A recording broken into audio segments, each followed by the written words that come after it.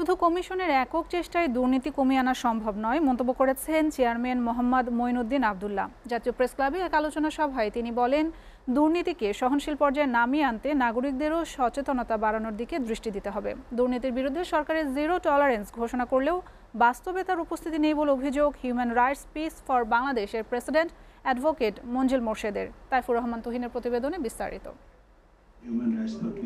জাতীয় প্রেস ক্লাবে দুর্নীতি দমনে নাগরিকদের ভূমিকা শীর্ষক আলোচনা সভার আয়োজন করে human rights peace for Bangladesh H R PB আমার পক্ষে নতুন করে কোনো কিছু এতে অংশ নিয়ে বক্তারা বলেন দেশে অপরাজনীতির কারণে দুর্নীতি বাড়ছে সেই সাথে পার পেয়ে যাচ্ছে দুর্নীতিবাজরা।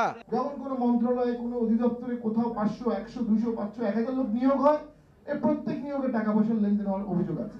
যে সমস্ত লোক মানে ছোটখাটো চুরি করে ছোটখাটো ডাকাতি করে এইটার ইম্প্যাক্ট অন দি ইকোনমি খুব বেশি না। কিন্তু এই যে বড় বড় লোক যে হাজার হাজার কোটি টাকার যে দুর্নীতি করে এইটার ইম্প্যাক্ট কিন্তু ইকোনমিতে অনেক অনেক বেশি। যে বাংলাদেশের এই যে একটা রাজনৈতিক সংস্কৃতি এবং রাজনৈতিক সংস্কৃতির সঙ্গে সঙ্গে দুর্নীতির সংস্কৃতি পরিবর্তিত হয় এই জায়গাটায় একটা পরিবর্তন হওয়া দরকার।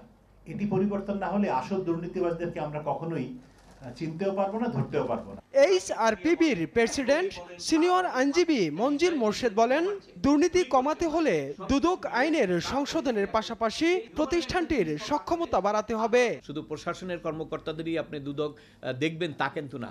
সব জায়গাগুলোতে দুদকের কর্মকাণ্ড বৃদ্ধি করা দরকার আওতায় আনা দরকার। যদি সরকার মনে প্রাণে বিশ্বাস করে জিরো টলারেন্স তাহলে এই জিরো টলারেন্সের মাধ্যমে এই সমস্ত প্রভাবশালী অর্থশালী দুর্নীতিবাজ তাদেরকে আইনের আওতায় এনে সব কিছুই তাদের বিরুদ্ধে ব্যবস্থা নেওয়া সম্ভব এবং সেইভাবে দুদককে সক্ষম করে ব্যবস্থা নিতে হবে। প্রধান অতিথি দুদক চেয়ারম্যান বলেন দুর্নীতি কমাতে সাধারণ নাগরিকদেরকেই এগিয়ে আসতে হবে? দুর্নীতি রেখে দেশের উন্নয়ন করা সম্ভব না এবং উন্নয়ন হলেও এটা টেকসই হবে না। শুধুমাত্র আইন দ্বারা দুর্নীতি কমানো সম্ভব না নাগরিক সচেতনতার সৃষ্টি না হলে। আমি দুর্নীতি মুক্ত দেশ আমরা চাবো তবে আমাদের একটা সহনীয় পর্যায়ে আসে আমরা সম্মিলিতভাবে সবাই কাজ করি। দুদক চায় দুর্নীতি সহনীয় পর্যায়ে আসুক। তাই দুর্নীতিবাজকে সামাজিকভাবে বয়কট করার কথাও জানান মোহাম্মদ ময়নুদ্দিন আবদুল্লাহ। দুর্নীতি বিরোধী যে একটা আন্দোলন বা একটা কার্যক্রম তাইফুর রহমান তুহিন এস টিভি ঢাকা।